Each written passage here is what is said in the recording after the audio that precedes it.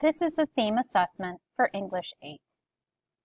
Today you have three choices for which story you would like to use to answer the questions below. First choice of story is Thank You Ma'am. You can read the story here or click here to listen. Second choice of story is The Path Through the Cemetery.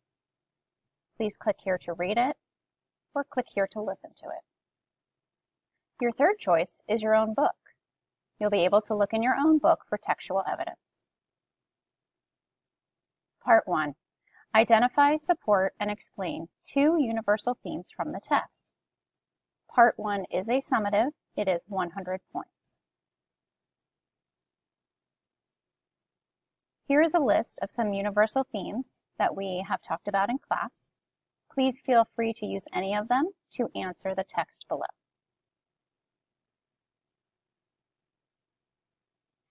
Please highlight which story you read.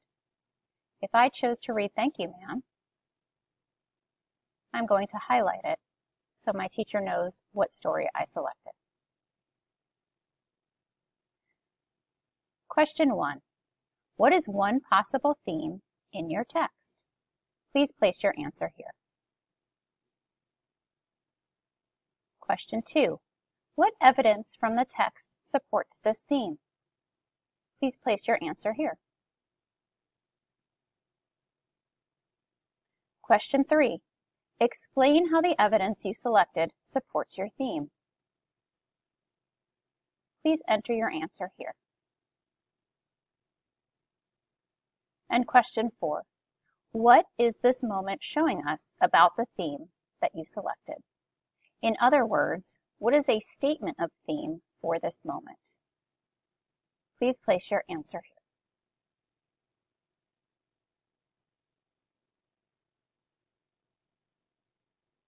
Question 5. What is another possible theme in your text? Please type here. Question 6. What evidence from the text supports this theme? Please type your answer here.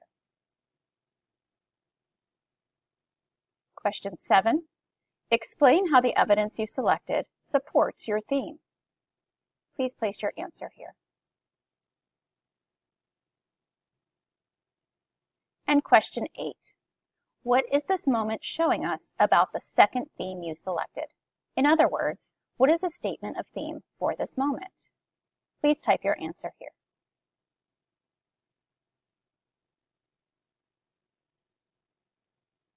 Part 2. Write a paragraph in which you make a claim about a theme from the text that you chose. Provide supporting evidence for your claim and explain how your evidence supports that claim.